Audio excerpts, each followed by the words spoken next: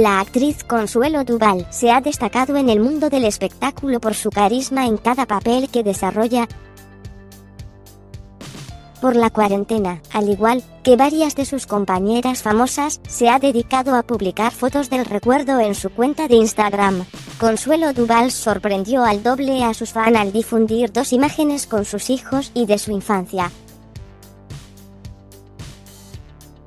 La exintegrante de la familia Peluche causó sensación con una fotografía que la muestra al lado de sus amigas de la niñez. Junto a otras cuatro alumnas, Consuelo Duval posó con una playera verde y dejó ver que desde siempre ha sido de cuerpo delgado. En la descripción de la imagen, Consuelo Duval hizo referencia a su grupo de amigas, quienes disfrutaban de jugar a ser el grupo Parchis.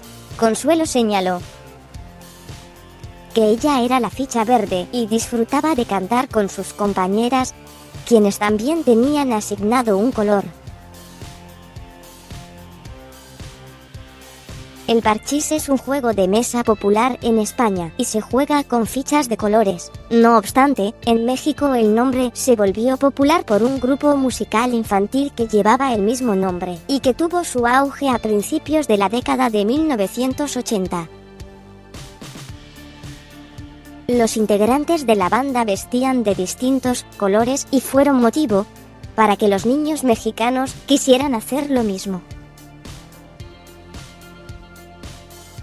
La fotografía de Consuelo Duval desató halagos para la actriz, a quien calificaron como una niña muy guapa, además de que varios recordaron su infancia jugando a ser parchís en la escuela, tal como ella lo hacía.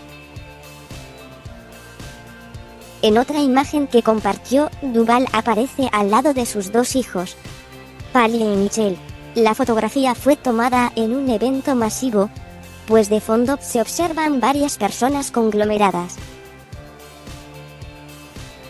El mactrío Duval, como ella nombra a su pequeña familia, miró sonriente hacia un costado de la cámara y el centro de atención fue la belleza de sus dos hijos, Consuelo Duval señaló que cuando nacieron Palle y Michelle, dejó de pensar en términos individuales para ser un trío inseparable.